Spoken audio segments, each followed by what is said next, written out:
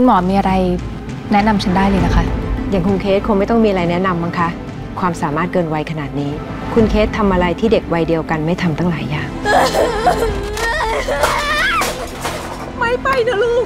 พัดเรามาคุยกับแม่ก่อนลูกแม่ขอโทษจริงๆลูกเกมรักทรยศ คืนนี้ 20 นาฬิกา 30 นาที ดูทีวีกด 33 ดูมือถือกด3 plus